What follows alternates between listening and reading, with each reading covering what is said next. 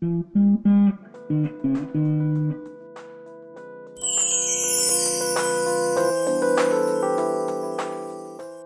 tristesse immobilise pour contrecarrer cet état qui fige, qui engourdit, je vous propose de remettre votre corps en mouvement.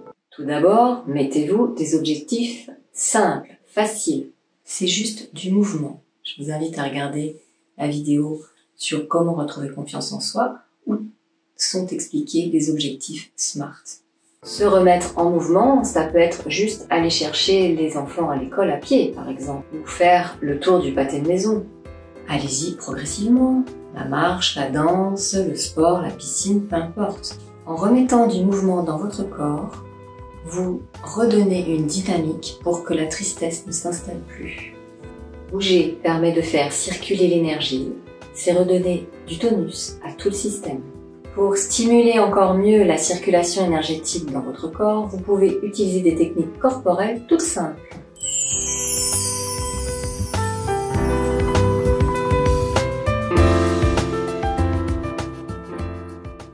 Pour stimuler la circulation énergétique du corps, on peut utiliser la température.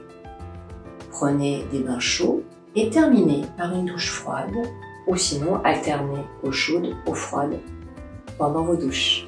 Tout ceci va redonner vitalité à votre corps. L'eau froide est un précieux allié de clarification mentale. Et il est bien connu que le taux d'ensoleillement a une influence sur le moral. Donc je vous invite à mettre de la lumière dans votre intérieur. Ouvrez les volets, faites rentrer la lumière, faites-vous un intérieur cosy avec des bougies, des lampes, mais surtout exposez-vous à la lumière du soleil, quelle que soit la saison. Et oubliez la lumière bleue de vos écrans, franchement, celle-ci n'est pas très bénéfique pour vous. Profitez-en pour ressentir les rayons du soleil sur vous. Ça peut être un déclic pour amorcer une pratique de méditation de pleine conscience et ressentir à travers tous vos sens.